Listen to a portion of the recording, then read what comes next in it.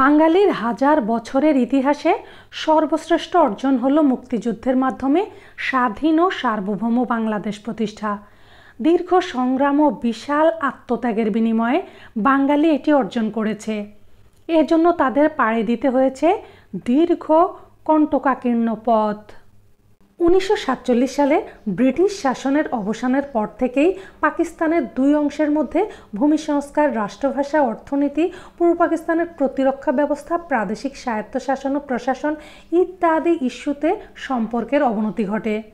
এরপর উনিশশো সত্তরের নির্বাচনে আওয়ামী লীগের বিপুল বিজয় সত্ত্বেও পাকিস্তানের সামরিক ও বেসামরিক নেতৃত্ব সংখ্যাগরিষ্ঠ আওয়ামী লীগ ও তার নেতা শেখ মুজিবুর রহমানের হাতে ক্ষমতা হস্তান্তরের বিরুদ্ধে ষড়যন্ত্রে লিপ্ত হয়। উনিশশো একাত্তর সালের পঁচিশে মার্চ মধ্যরাতে পাকিস্তানি সৈন্যরা অপারেশন সার্চ লাইটের নামে বাঙালি হত্যাযজ্ঞ শুরু করে। তখন বঙ্গবন্ধু স্বাধীনতার ডাক দিলে পাকিস্তান সৈন্যবাহিনীর বাঙালি সৈন্য, আধা সামরিক বাহিনীর বাঙালি সদস্যরা তাৎক্ষণিকভাবে পূর্ব পাকিস্তান অর্থাৎ বাংলাদেশের জনগণের মুক্তি আন্দোলনের সঙ্গে সংহতি প্রকাশ করে বিভিন্ন স্থানীয় পক্ষ গড়ে তোলে। এছাড়াও স্থানীয়ভাবে মুক্তিযুদ্ধের পক্ষে বিভিন্ন দলও গড়ে ওঠে। এখন আমরা মুক্তিযুদ্ধে বিভিন্ন স্থানীয় পক্ষ ও তাদের অবদান সম্পর্কে জানব। এক, নিয়মিত বাহিনী। ইস্ট বেঙ্গল রেজিমেন্টের ইউনিটগুলোর বাঙালি সৈনিকদের নিয়ে এই বাহিনী গঠিত হয়। সরকারিভাবে এদের নামকরণ করা হয় মুক্তি ফৌজ। মুক্তিযুদ্ধকালে বাংলাদেশ সরকার নিয়মিত বাহিনী হিসেবে সেনা, বিমান ও নৌবাহিনী গড়ে তোলে। সরকারিভাবে এদের নামকরণ করা হয় মুক্তি ফৌজ। মুক্তিযুদ্ধকালে বাংলাদেশ সরকার নিয়মিত বাহিনী হিসেবে সেনা, বিমান ও নৌবাহিনীও গড়ে তোলে। দুই অনিয়মিত বাহিনী, ছাত্র, যুবক, শ্রমিক, কৃষক ও সকল পর্যায়ের মুক্তিযোদ্ধাদের নিয়ে বিভিন্ন সেক্টরের অধীনে অনিয়মিত বাহিনী গঠিত হয়। এই বাহিনীর সরকারি নামকরণ ছিল গণবাহিনী বা ফ্রিডম ফাইটার। যাদের মুক্তিযোদ্ধা বলা হতো। এদের নিজ নিজ এলাকায় গেরিলা পদ্ধতিতে যুদ্ধ করার জন্য পাঠানো হতো। তিন, ক্র্যাক প্লাটুন। ক্র্যাক প্লাটুন বাংলাদেশের স্বাধীনতা যুদ্ধ চলাকালীন সময় পাকিস্তানি সেনাবাহিনী ও তাদের দোসরদের বিরুদ্ধে ঢাকা শহরে গেরিলা আক্রমণ পরিচালনাকারী একদল তরুণ মুক্তিযোদ্ধাদের সংগঠিত দল, যারা তৎকালীন সময় একটি কিংবদন্তিতে পরিণত হয়েছিল। এই গেরিলা দলটি অত্যন্ত দক্ষতার সাথে হিট অ্যান্ড রান পদ্ধতিতে অসংখ্য আক্রমণ পরিচালনা করে পাকিস্তানি সেনাবাহিনীর মধ্যে ব্যাপক ত্রাসের সঞ্চার করে। এই দলটি গঠনে প্রধান ভূমিকা পালন করেছিলেন খালেদ মোশারফ এবং এটিএম হায়দার। এটি বাংলাদেশের স্বাধীনতা যুদ্ধের দুই নং সেক্টরের অধীন একটি স্বতন্ত্র গেরিলা দল, যারা মূলত গণবাহিনীর অংশ বলে পরিচিত। এই বাহিনীর সদস্যরা ভারতের প্রশিক্ষণ ক্যাম্পে গেরিলা যুদ্ধের প্রশিক্ষণ গ্রহণ করে। এই প্রশিক্ষণে গ্রেনেড ছোড়া, আত্মগোপন করা প্রভৃতি শেখানো হতো। আরবান গেরিলা যুদ্ধের জন্য বিশেষায়িতভাবে তৈরি করা হয়েছিল এই দলটিকে। মুক্তিযুদ্ধের সময় ঢাকা ছিল পাকিস্তানিদের মূল ঘাঁটি। ভয়ঙ্কর আতঙ্কে নীল হয়ে থাকত এ শহরের মানুষগুলো। রাস্তায় চলতে গিয়ে ভয়ে জমে থাকত। সেই তীব্র ভয় আর আতঙ্কের উপত্যকায়। জুনের দিকে হঠাৎ করেই কিছু অসীম দুঃসাহসী ছেলেকে রুখে দাঁড়াতে দেখা গেল পাক সেনাদের। চোখে সানগ্লাস, ঠোঁটে সিগারেট, হাতে স্টেন গান। আধুনিক মডেলের একটা গাড়ি থেকে নেমেই মুহূর্তের মধ্যে নীরবে পজিশন নিত এরা।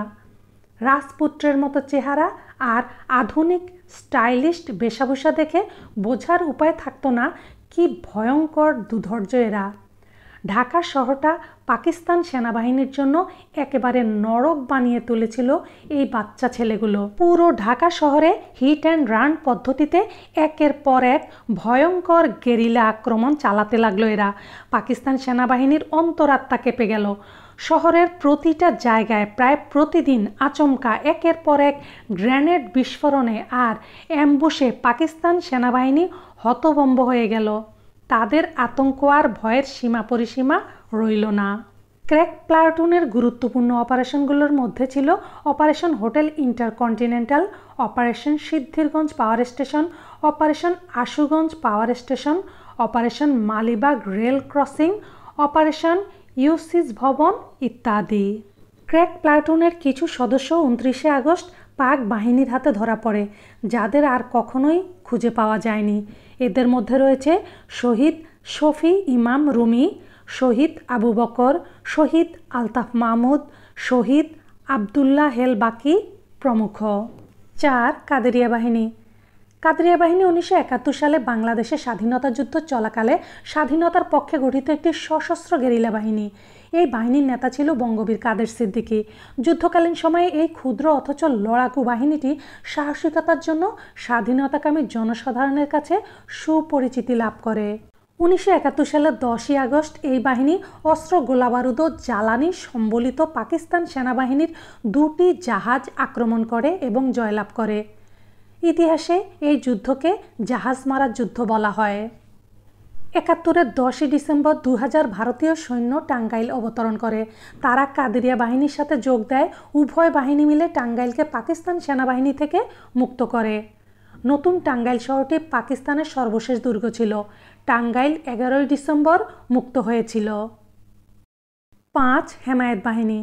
হেমায়ত বাহিনী উনিশশো একাত্তর সালে বাংলাদেশের স্বাধীনতা যুদ্ধ চলাকালে স্বাধীনতার সপক্ষে গঠিত একটি সশস্ত্র গেরিলা দল। হাবিলদার হেমায়েত উদ্দিনের নাম অনুসারে হেমায়েত বাহিনীর নামকরণ করা হয়। তিনি মুক্তিযুদ্ধের শুরুতেই জয়দেবপুরের দ্বিতীয় ইস্ট বেঙ্গল রেজিমেন্টে কর্মরত ছিলেন। তার রেজিমেন্টে বিদ্রোহ করলে তিনি কিছু বাঙালি সেনা নিয়ে ফরিদপুরে চলে যান। উনিশে মে হেমায়েত বাহিনী যাত্রা শুরু করে। এই বাহিনী গোপালগঞ্জ, বরিশাল, ফরিদপুর, মাদারীপুর এবং যশোরের কিছু অংশে যুদ্ধ পরিচালনা করে। এই বাহিনীর উল্লেখযোগ্য যুদ্ধ ছিল কোটালীপাড়া থানা আক্রমণ, যশোরের গুদাম আক্রমণ, কুরপাড়া কমিউনিটি সেন্টার যুদ্ধ, গোপালগঞ্জ মাদ্রাসা যুদ্ধ ইত্যাদি। ছয়, লতিফ মির্জা বাহিনী। সিরাজগঞ্জ জেলার কামারখন্দ থানাকে কেন্দ্র করে মুক্তিযুদ্ধে পলাশডাঙ্গা যুদ্ধ শিবির বা লতিফ মির্জা বাহিনী গড়ে ওঠে। এর পরিচালক ছিলেন আব্দুল লতিফ মির্জা।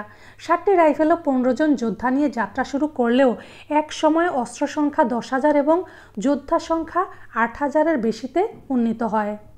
মূলত সিরাজগঞ্জ, বগুড়া, নাটোর, রাজশাহী, পাবনায় লতিফ মির্জা বাহিনী যুদ্ধ করত। চলনবিলের বিস্তীর্ণ এলাকা ছিল লতিফ মির্জা বাহিনীর শক্ত ঘাঁটি।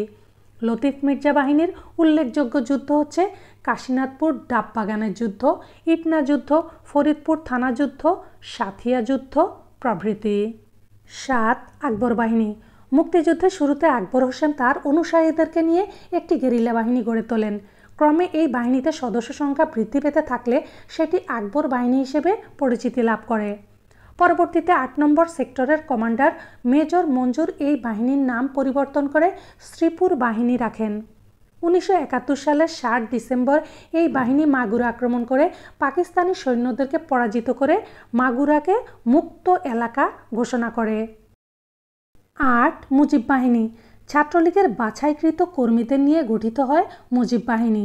নেতৃস্থানীয় প্রায় দশ হাজার ছাত্রকে বিশেষ প্রশিক্ষণ দেওয়া হয়। তারপর সমগ্র বাংলাদেশকে চারটি রাজনৈতিক যুদ্ধ অঞ্চলে বিভক্ত করে এই সমস্ত ছাত্রদেরকে নিজ নিজ এলাকার ভিত্তিতে অবস্থান নেয়ার জন্য প্রেরণ করা হয়। আজ এ পর্যন্তই। আল্লাহ হাফেজ।